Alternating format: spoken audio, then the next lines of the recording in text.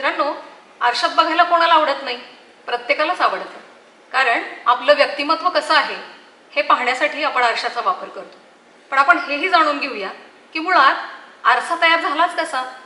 तर काचेचा सपाट गुळगुळीत पृष्ठभाग जो आहे त्या गुळगुळीत पृष्ठभागावरती चांदीचा लेप दिल्यावर आरसा तयार झाला.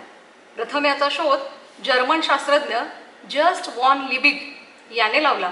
आणि म्हणूनच आरशाला रजत काच परावर्तक असं देखील म्हटलं जातं. मग आपण या सपाट आरशामध्ये वस्तूची प्रतिमा कशी मिळते ते बघूया. यासाठी इथे दोन आरसे मी घेतलेले आहेत. दोनही सपाट आरसे आहेत. आणि या दोन सपाट आरशांच्या समोर एक वस्तू ठेवलेली आहे. आता तुम्ही समोरून बघू शकता या असणाऱ्या वस्तूची प्रतिमा तुम्हाला या आरशाच्या पुढे दिसते आहे.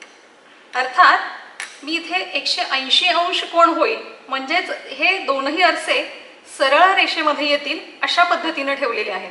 आणि त्यामुळेच केवळ या वस्तूची तुम्हाला प्रतिमा या आरशामध्ये फक्त एकदाच बघायला मिळते. परंतु आपण गंमत बघूया का? या दोनही आरशांचा कोण जर मी हळूहळू आतल्या बाजूने जर पुढे पुढे पुढे कमी करत नेले तर मग त्या वस्तूंच्या प्रतिमेमध्ये काय फरक होतो ते बघूया. आता बघा बरं. इथे आणखी कोण मी कमी कमी करत गेल्यानंतर ही जी वस्तू ठेवलेली आहे त्या वस्तूच्या प्रतिमा ज्या आहेत त्यांची संख्या वाढलेली दिसून येते. असं का झालं बरं? कारण ही प्रतिमांची संख्या जी आहे ती काढण्यासाठी पूर्ण वर्तुळाचं अंशात्मक मापन म्हणजे तीश तीनशे साठ अंश या असणाऱ्या तीनशे साठ अंश संख्येला हा जो काही कोण झालेला आहे त्या कोणाच्या संख्येनं जर भागलं आणि आलेल्या भागाकारातून एक ही संख्या वजा केली तर आपणाला प्रतिमांची संख्या मिळते. बघूया तर मग प्रत्येक कोण कशा पद्धतीने आणि प्रतिमांची संख्या दाखवतो? इथे पहा. सपाट अर्शातील प्रतिमा पाहण्यासाठी आपण या असणाऱ्या सूत्राचा वापर करतो. एन बरोबर तीनशे साठ अंश छेदस्थानी ए ए म्हणजे आरशामधील कोण एन म्हणजे प्रतिमांची संख्या. उदाहरणादाखल म्हणून आपण साठ अंशाचा कोण घेतलेला आहे.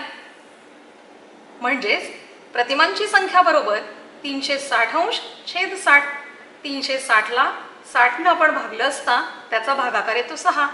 सहा या संख्येतून एक संख्या वजा केली की एन म्हणजेच प्रतिमांची संख्या मिळते पाच.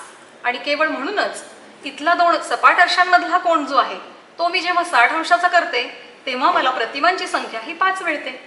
याचा अर्थ जसजसा तुम्ही कोण जो आहे दोनही अर्शांमधला कोण जसजसा कमी कमी कमी करत राहता तसतसं प्रतिमांची संख्या ही वाढत जाते. पाहिलं ना? तुम्हीही घरी अशा पद्धतीनं दोन सपाट आरसे घेऊन वस्तूंच्या प्रतिमा पाहू शकता. अगदी नव्हे नव्हे तर दोन सपाट आरसे समांतर ठेवल्यावर सुद्धा वस्तूंच्या किती प्रतिमा मिळतात हेही बघू शकता. मग आवडेल ना तुम्हाला करायला? आयसरच्या पुणे येथील सायन्स ॲक्टिव्हिटी सेंटरला अवश्य भेट द्या. धन्यवाद.